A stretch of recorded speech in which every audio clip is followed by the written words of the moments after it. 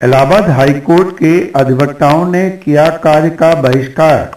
Lucknow bench में एक न्यायमूर्ति के कथित दुर्व्यवहार के विरोध में अधिवक्ता कर रहे हैं विरोध।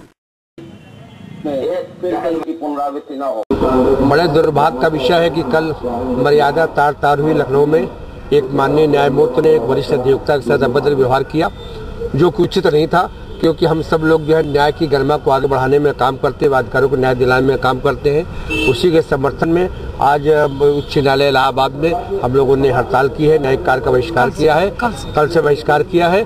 और सोमवार को हमारी दस बजे मीटिंग होगी। हम सब अधिवक्ताओं का सिर्फ़ यही कहना है कि अगर हम आपकी मर्यादा को बनाते हैं तो आप हम लोगों की मर्यादा को बनाएँ, ताकि समाज में एक मर्यादा स्थापित हो।